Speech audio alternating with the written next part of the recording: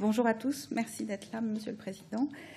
Euh, le, glaucome, c'est donc une neuropathie optique qui est caractérisée par une perte progressive en cellules euh, rétiniennes, ganglionnaires rétiniennes, euh, qui est caractérisée par des anomalies structurales auxquelles s'associent bah, des anomalies fonctionnelles caractéristiques.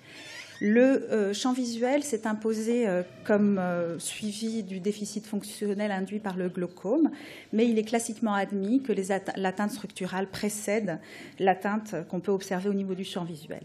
La controverse qui est proposée est provocatrice, mais elle, elle nous permet d'envisager une problématique qui est rencontrée régulièrement et qui pose le problème du moment à partir duquel il est licite de proposer un traitement à un patient glaucomateux.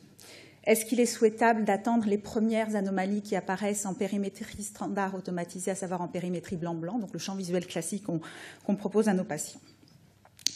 Qu'est-ce que c'est tout d'abord le glaucome prépérimétrique ben, C'est une neuropathie optique glaucomateuse associée à une périmétrie standard automatisée blanc-blanc normale pour éviter d'avoir des, taux de faux positifs importants, il est préférable d'envisager ça avec un suivi longitudinal où on va mettre en évidence en fait des modifications de la tête du nerf optique qu'on observe dans le temps pendant le temps de suivi du patient. Alors s'il est vrai qu'il faut absolument distinguer le glaucome prépérimétrique des autres anomalies qu'on peut observer au niveau de la papille, et il est clair également qu'un champ visuel blanc-blanc normal ne veut pas dire qu'on ne peut pas mettre d'autres anomalies fonctionnelles en évidence, comme nous l'a signalé Franck May. Euh, on peut effectivement aller rechercher ces anomalies fonctionnelles au niveau des euh, périmétries non conventionnelles que sont le FDT ou le champ visuel bleu-jaune.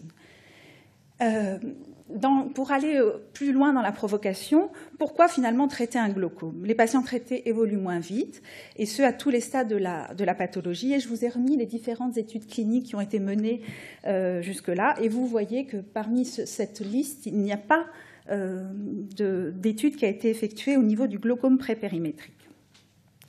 L'évolution naturelle, par ailleurs, n'est pas forcément favorable. C'est la raison pour laquelle on est encouragé à traiter nos patients. Les recommandations qui, nous, sont proposées sont prendre en charge les patients glaucomateux pour protéger la fonction visuelle et préserver la qualité de vie en rapport, ce pour un coût euh, euh, raisonnable, et ça consiste finalement à essayer de ralentir la perte en cellules ganglionnaires rétiniennes. Faut-il dépister le glaucome périmétrique avant de le traiter? Ben, On a des, outils euh, de plus en plus sophistiqués qui nous permettent de poser des diagnostics de plus en plus précoces. ça a un intérêt en fait pour essayer d'évaluer euh, les facteurs de risque présents un patient, euh, un patient dit. Euh, le diagnostic peut être devancé. La surveillance va être optimisée parce qu'on va éventuellement mettre en évidence une progression avant même que le champ visuel blanc-blanc ne se dégrade. Et on va décider de traiter éventuellement au moment opportun. J'insiste sur le fait d'essayer de, diagnostiquer ou enfin d'individualiser les patients qui sont à risque de progression, parce que ce sont les patients qu'on va surveiller de façon rapprochée ou éventuellement à qui on va proposer un traitement. Et à l'inverse, euh, finalement, c'est dire si on doit se baser uniquement sur le champ visuel, à quoi servent toutes ces machines qu'on nous propose depuis, depuis un certain temps pour essayer de devancer justement le diagnostic que permet de faire le champ visuel blanc-blanc on parlait de structure et fonction. Euh, on sait qu'il existe, cette relation est assez forte en matière de glaucome. On sait également que le champ visuel blanc-blanc sous-estime les modifications initiales et en tout cas pour les stades initiaux du glaucome, il est intéressant de, de se polariser entre guillemets sur les examens structuraux. En matière de glaucome également, euh, les anomalies fonctionnelles établies sont euh, généralement irréversibles et les premiers déficits observés au champ visuel blanc-blanc euh, correspondent généralement, ça a, été, ça a été démontré par l'équipe de Quigley il y a quelques années, à 30% de perte en fibres nerveuses rétiniennes. Plus récemment, bah, l'équipe de Medeiros et Wenreb s'est intéressée aussi au déficit en champ visuel blanc-blanc et à quoi ça correspondait sur le plan anatomique.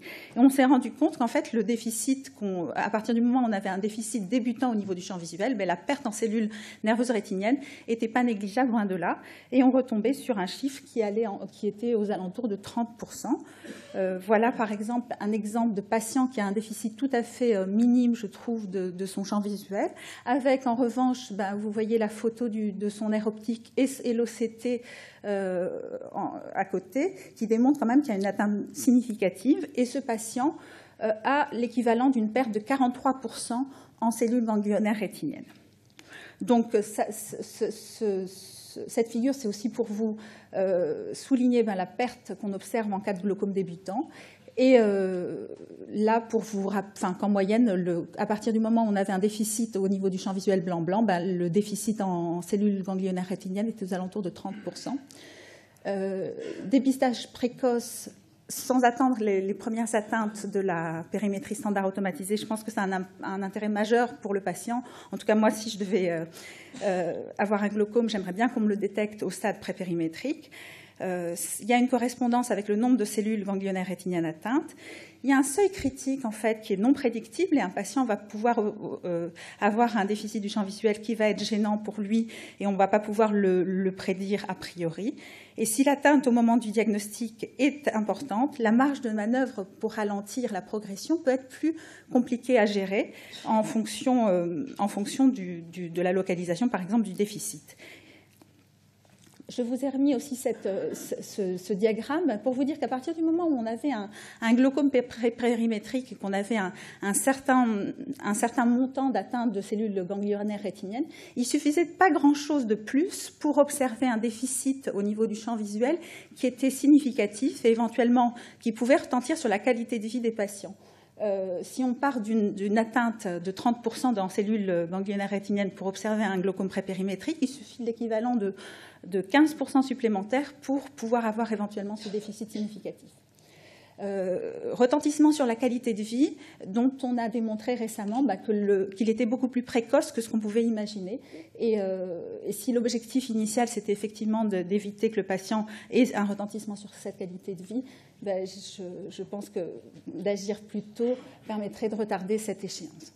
Euh, par ailleurs, ben, d'un point de vue pragmatique, simplement, quel message on délivre aux patients une fois qu'on a fait tous les examens pour démontrer qu'il y avait quelque chose qui se passait Comment lui dire, oui, on a pu mettre en évidence un début de quelque chose, on a éventuellement des, traitements à vous proposer, mais on va attendre que la situation se complique un peu plus.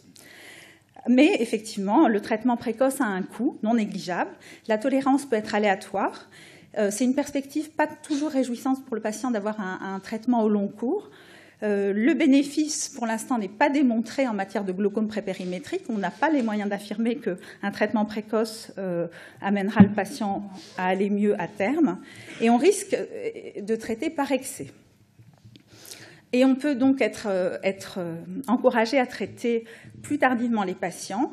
Mais alors, on va, devoir être plus ambitieux en termes de pression intraoculaire cible avec éventuellement des effets secondaires des médicaments et des complications potentielles de tout ce qu'on pourra proposer aux patients, et euh, pour finalement aboutir à éventuellement un cercle vicieux de dégradation.